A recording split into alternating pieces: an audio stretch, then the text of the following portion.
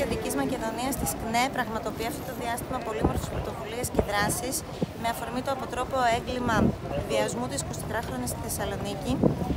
Βγαίνουμε μαζικά και καλούμε τον κόσμο να καταδικάσει αυτό το περιστατικό στη βάση της ανακοίνωσης του Γραφείου Τύπου της Κεντρικής Επιτροπής. Θεωρούμε ότι όσο επιτακτικό είναι να διερευνηθεί το ίδιο το αποτρόπο έγκλημα, άλλο τόσο επιτακτικό είναι να απομονωθούν και οι σάπτες αξίες που αναπαράγουν τέτοιου είδους εγκλήματα στη σημερινή κοινωνία.